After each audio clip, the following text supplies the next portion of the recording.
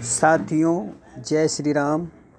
आज मैं आपको शिव का एक मंत्र बताने जा रहा हूँ, जिसको पूजा करने से, जिसका मंत्र जपने से आपकी सारी बाधाएँ, सारे कष्ट ख़त्म हो जाएँगे।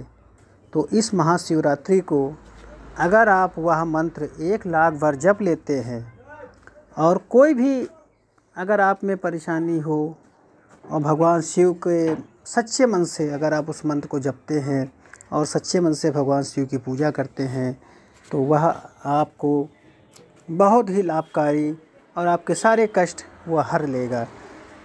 तो साथियों, वैसे तो एक महामंत्र है जिसको करने से सारी बाधाएँ हर जाती हैं और मुक्ति मुक्ति इंसान को मिल जाती है। वह मंत्र है, ओम नमः शिवाय, ओम नमः शिवाय।